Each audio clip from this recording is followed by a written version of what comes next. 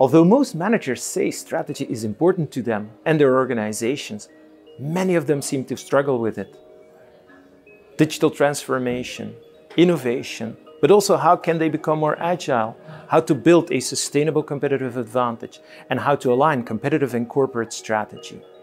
In business strategy and leadership, we equip managers with hands-on knowledge, but then at the same time, it's grounded in solid theory.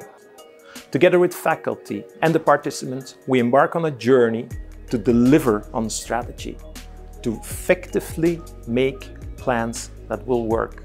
Your strategy is not just what you say, it's more what you do.